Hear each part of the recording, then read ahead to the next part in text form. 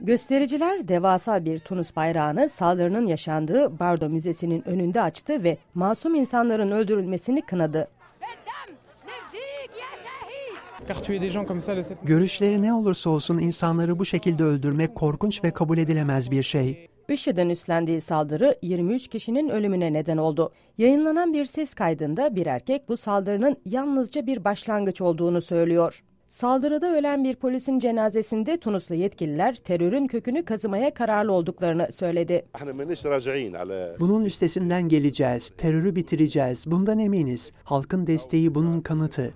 Ölenlerin çoğu Japonya ve Avrupa'dan gelen turistlerdi. Avrupa Birliği liderleri Perşembe günü Brüksel'de yaptıkları bir toplantıda ölenler için bir dakikalık saygı duruşunda bulundu ve Tunus'a destek sözü verdi. Tunus halkı ve özellikle de Tunus gençliğinin Avrupa Birliği'nin arkalarında olduğunu ve onlara umutla dolu bir gelecek ve şiddetle değil iyi şeylerle dolu bir gelecek için destek vereceğini bilmesini istiyoruz.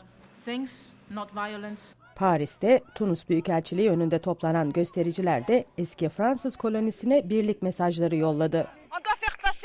Teröristlere korkmadığımız mesajını vermeliyiz. Hala ayaktayız. Tunuslu kadınlar ve erkekler dimdik ayakta. Polisleri ve askerleri kutluyoruz. Fransa Cumhurbaşkanı Tunus'u Arap Baharı'ndan sonra demokrasiye geçişi başarılı bir biçimde gerçekleştiren bir model olması nedeniyle övdü. İçişleri Bakanı da saldırıdan sonra Tunus'a giderek Fransa'nın ülkeye nasıl yardım edebileceği ile ilgili görüşmeler yaptı.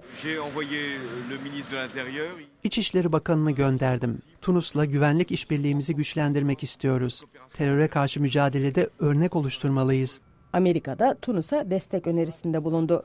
Cumhurbaşkanı Elbaci Kayed El Sebzi'yi arayan Başkan Obama, Tunus halkının terör karşısındaki tavrını övdü. Beyaz Saray sözcüsü Josh Earnest de Amerika'nın desteğini tekrarladı. Tunuslular istikrarsız hatta tehlikeli bir bölgede yaşıyor. Biz de Tunus hükümeti ve Tunus halkına karşı karşıya oldukları tehdide karşı mücadelelerinde destek olmaya hazırız. Tunus'taki müzeye yapılan saldırı ülke turizmine de darbe vurdu. Başbakan Habib Esid tüm kentlerde ve sınırlarda güvenliğin artırıldığını açıkladı. Saldırıyla ilgili bazı tutuklamalar da yapıldı. Melek Çağlar, Amerika'nın Sesi, Washington.